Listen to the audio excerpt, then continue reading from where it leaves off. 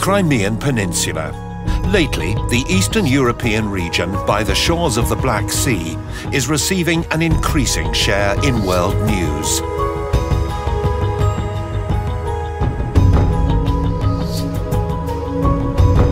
Crimea has rarely been a subject of worldwide attention. The last time it went into top global news was as long ago as in 1945, when it hosted the Yalta Conference of the leaders of the United States, the United Kingdom and the Soviet Union, which many think defined the post-war division of Europe. These days, the world is talking of Crimea again, this time in connection with Russia's swift taking control of the territory in March 2014. Some political scientists call this event the beginning of a new reshaping of national boundaries in Europe. Crimea has once again become a key square on the grand chessboard of international politics. Crimea entered the stage of world history a long time ago. This remote edge of Europe has long been an object of fierce competition and a highly valued war prize. Empires have clashed for the Crimean Peninsula and flags over it have changed many times.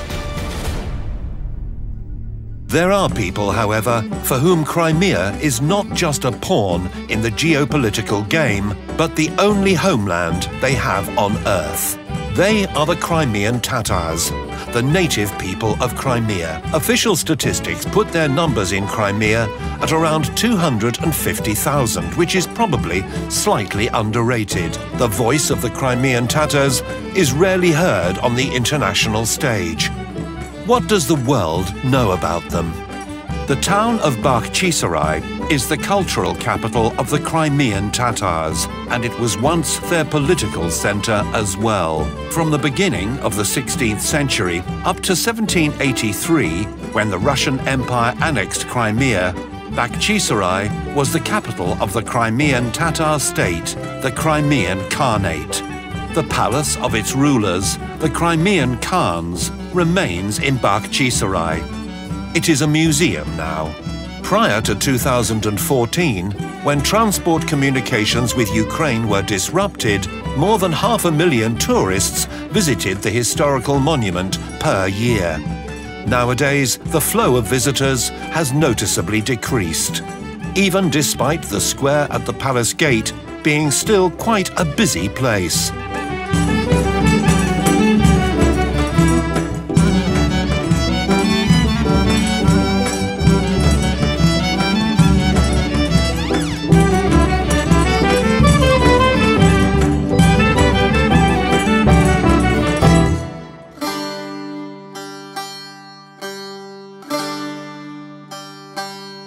Streets in the old quarters of Bakhchisarai preserve many features of traditional Crimean Tatar architecture. The Crimean Tatars constitute currently about 20% of the town's population.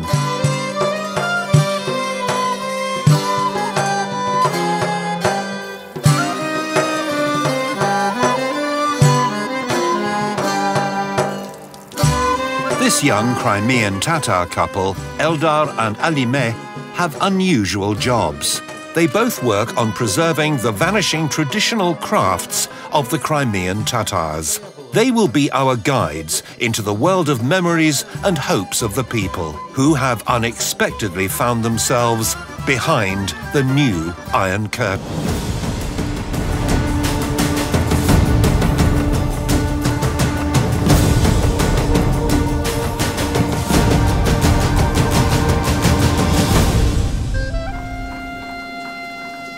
Eldar is keen on the craft of pottery. He creates elegant works of traditional folk art on his potter's wheel.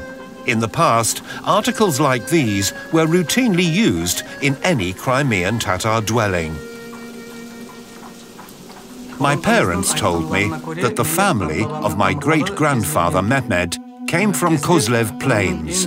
Kozlev was the largest town in the steppe region of the Crimea. The clan of our ancestors, the Mansurs, was a noble one.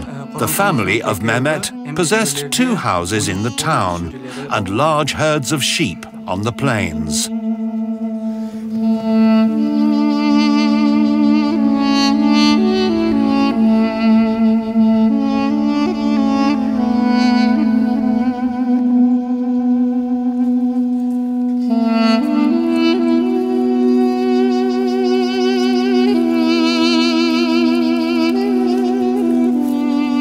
Sometimes Eldar pays a visit to the homeland of his great-grandfathers in the blossoming Crimean steppes. A saddle horse is a rarity in modern Crimea, but Eldar recalls centuries-old traditions.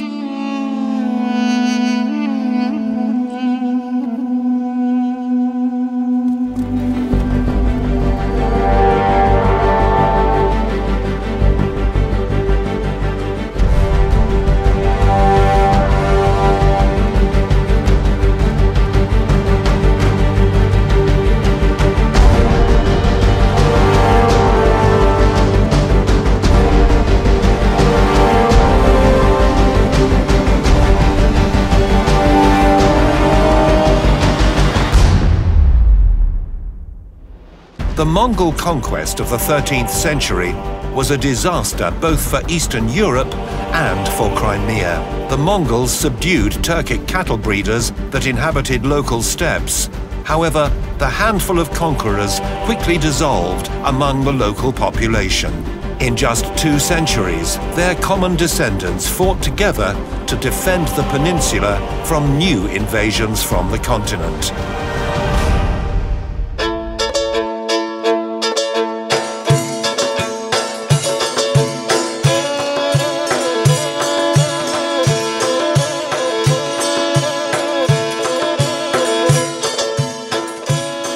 Alime is an embroideress. Graceful Crimean Tatar ornaments of flowers and leaves blossom on her canvas. Crimean Tatar embroidery is full of symbols. A tulip, for instance, means a boy, and an almond means a girl. A rose symbolizes a woman, and those small things represent abundant crops. In the past, girls embroidered such items for their future husbands. I found this pattern on an old headscarf and now I am trying to recreate it. This embroidery technique is called Tata Ishlem. There are more than 60 types of Tata Ishlem. The roots of the fine plants growing from under her needle reach deep into the historical past. Quite similar ornaments have been blossoming since the ancient times on the embroidery of the Balkans and Levant. Alime's ancestors come from the highlands of Crimea, which for millennia have been the ultimate frontier of the Mediterranean world.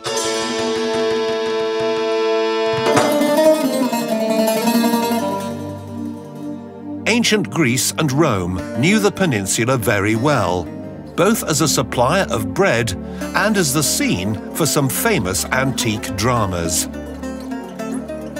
More than 2,000 years ago, dwellers of the ancient city of Chersonesos on the Crimean shores pledged in their citizenship oath to protect democracy from usurpation. Windows and doors of man-made caves gape in the majestic rocks of the Crimean mountains. These are the remnants of medieval fortresses. Ancient highlanders of Crimea, allied to the Constantinople emperors, built their mountain strongholds to guard the farthest frontier of the Byzantine Empire from the steppe nomads. The Byzantine epoch left its mark in Crimean temples more than a thousand years old. The peninsula has long been a true melting pot for all the ethnicities that have ever come here over the centuries. The list of ancient peoples that at some point came to Crimea and settled here forever is extensive. The Tauri and the Cimmerians, the Greeks and the Scythians, the Goths and the Alans, the Khazars and the Cumans, as well as the more recent Mongols and Turks. Many of these ancient peoples have long disappeared. However, living humans do not disappear into oblivion. They live on in their descendants mixing among themselves and incorporating subsequent waves of newcomers, the descendants of those who had come to Crimea from opposite ends of the continent had merged by the late Middle Ages into a new ethnicity, the Crimean Tatars. The factor which united the steppe dwellers and the highlanders into a single nation was the faith of Islam.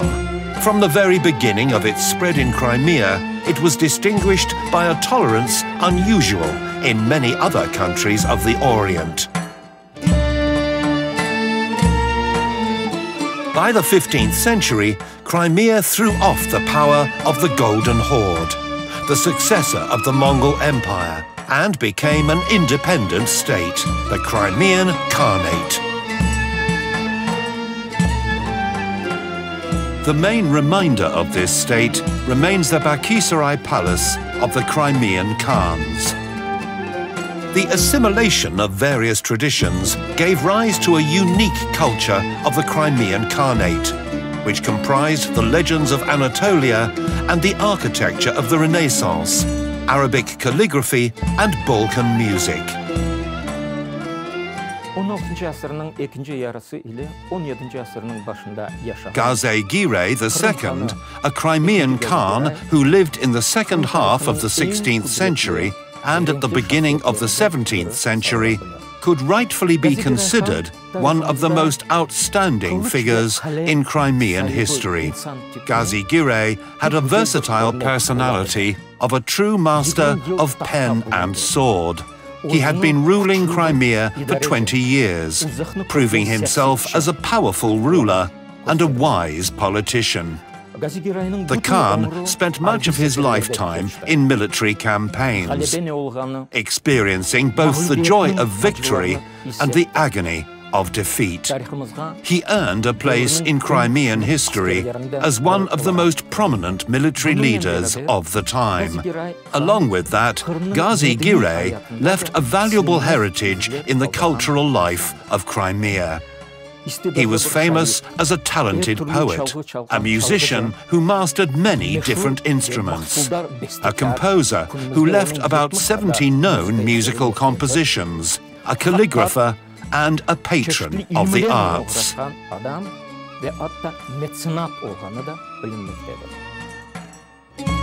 The Crimean Tatar state didn't remain independent for a long time. A new big brother was soon to succeed the Golden Horde in stretching its power over Crimea, the mighty Ottoman Empire.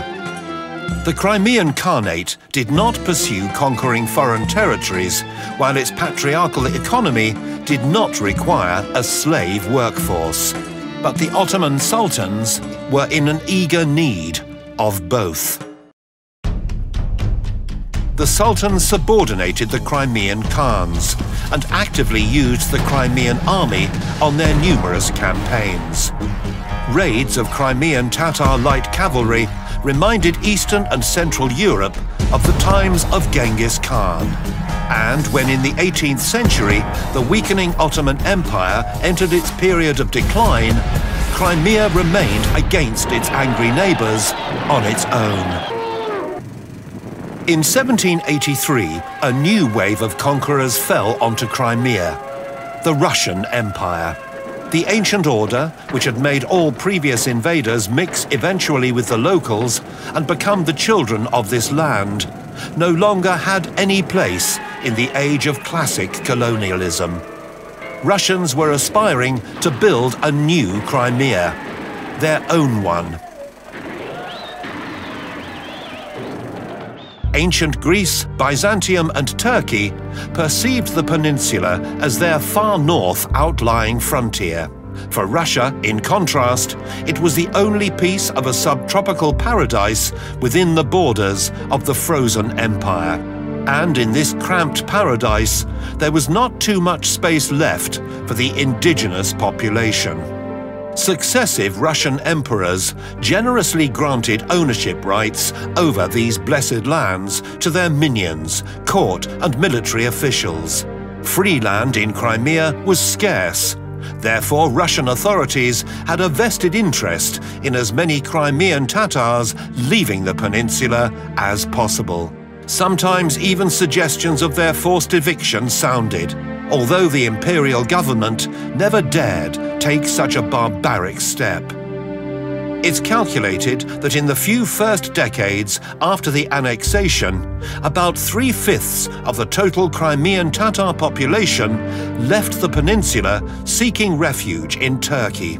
The policy of expulsion continued well into the 19th century. The Eastern War of 1853 to 56, well commemorated in Europe, alongside the names of Inkerman, Balaclava, and the fatal charge of the Light Cavalry Brigade, had its impact on the Crimean Tatars even after it had finished. Had allegedly aided the occupying troops of Great Britain, France, Sardinia, and Turkey during their stay in Crimea, the Russian authorities increased repressions against the Crimean Tatars, forcing about 150,000 Crimean Tatars to a new exodus to Turkey. Although there had never been any anti-colonial movement or uprisings in Crimea, the Russian authorities held the Crimean Tatars in great distrust. No wonder then that the Crimean Tatars met the collapse of the Russian Empire in 1917 enthusiastically. The revolution brought the deprived people aspirations for self-determination.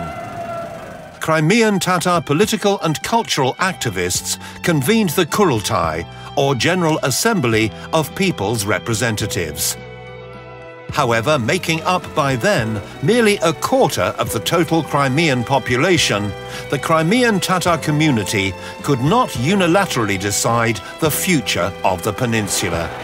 In 1917 to 1921, Crimea became a battlefield of a fierce fight between the defending Russian monarchists and the advancing Bolsheviks, which ended in a bloody victory for the latter trying to secure support from ethnic minorities, communists declared a policy of liberation of peoples previously oppressed by Tsarism.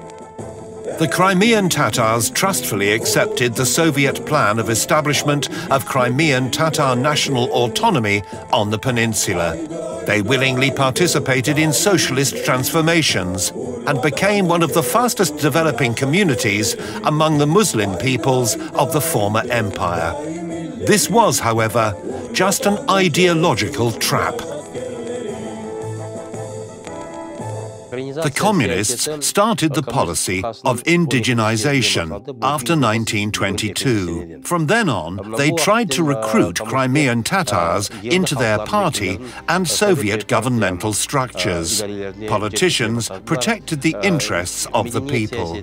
On the educational front, they opened schools and higher educational institutions. On the one side, the policy had some positive effects, while on the other side, all these advances were cut down pretty soon. In the mid-1930s, repressions started, culminating in 1937 and 1938. On April the 17th, 1938, all leading Crimean Tatar intellectuals were executed here in Simferopol. That night, the intellectual elite of an entire people vanished. In 1941, new flags were raised over Crimea. The peninsula was occupied by Nazi Germany. Just like the communists before them, the Nazis initially tried to exploit the slogans of national liberation. Their success proved to be poor as there were no significant anti-Soviet sentiments among the Crimean Tatars. A similar failure met their attempts at recruiting Crimean Tatars to Nazi battalions, which never equaled the numbers of Crimean Tatars fighting in the ranks of the Soviet army. Nevertheless, after the Nazi withdrawal from Crimea, the Soviet authorities accused all the Crimean Tatars of collaboration with the enemy. This was the pretext for indiscriminate deportation of people from Crimea. On May the 18th, 1944, the entire Crimean Tatar population of the peninsula, including even communist functionaries and disabled Red Army veterans, was forcibly loaded in cattle vans and driven out of Crimea to Central Asia. This act of Stalinist terror was unusually based not on ideological, but exclusively on racial grounds. During the deportation and the first years in exile, by some estimates, up to 46% of the Crimean Tatars died. many people in Crimea still remember those events. The memory of this act of genocide is a never-healing scar in the history of any Crimean Tatar family. We children were scared. Soldiers drove us into trucks, then loaded us into railroad cars. Everything was a mess. Families were split and scattered. My brother was in Simferopol that day. The father was there, the mother was here, the children elsewhere. People died on the way. Some tried to find their parents and were lost. We never, ever found my brother. Remaining in exile for almost half a century, people never gave up their hope of returning home. Such a return only became possible in the late 1980s as a result of perestroika. Many people left everything they owned in Central Asia and moved to the land of their fathers. Local authorities in some places in Crimea met their arrival with undisguised hostility. Most of those repatriated were born in exile and had never seen Crimea before. However, just like their deported parents, they thought of Crimea as their only true homeland. Many of those repatriated had to settle in makeshift houses, suffering from unemployment and poverty. But their ultimate values laid not in material benefits, but in regaining their once stolen homeland. The authorities in the city council just plainly refused to help us. They told us, we didn't call you here, so we settled in a shanty house and lived there for eight years. Sometimes we could not even afford to buy food. In Uzbekistan, we used to have a house with a garden, but we were living in a dream of coming back to Crimea. We never regret our return to Crimea. It's our homeland. The fall of the Soviet Union and the ensuing economic crisis fell on the height of the mass returning to Crimea. After the collapse of the USSR, Crimea remained in the borders of independent Ukraine. The government of one of the poorest European countries, engulfed by its own problems, could render little help to the repatriates. In any case, Ukrainian rule has become the first since 1783 under which the Crimean Tatars did not experience political repressions.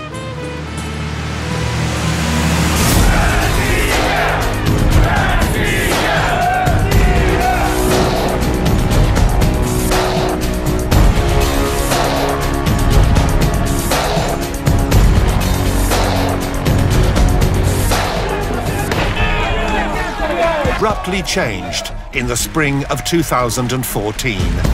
The flags over Crimea were changed once again when Russia rapidly took control over the peninsula. The Crimean Tatars have had a rich experience of life under the Russian state, an experience that has always been difficult and often even fraught with tragedy. It is understandable, then, that the return of Russian rule causes serious concerns among the Crimean Tatar community, and the following Russian policy towards them seems to give few reasons for changing that attitude. Meanwhile, the Crimean Tatars cannot afford a new exodus, as they have paid too high a price for their recent return. On their return to Crimea, our parents endured great trials and suffering. Many of those who had been evicted didn't live until the return and never saw Crimea again. That's why those who have managed to come back must stay in Crimea by any means. And not just to stay, but also to make our way as a modern, talented and resilient people, however difficult it is. Escape is not a solution. Crimea is our only homeland, and we have to stay here both in happy and in sad days, whatever is happening. Whatever the changes they are facing now, It's nothing more than a brief episode in the long history of the indigenous people of Crimea. Mighty empires have been clashing for Crimea since ancient times, and each new winner believes he has secured his foot on this land forever.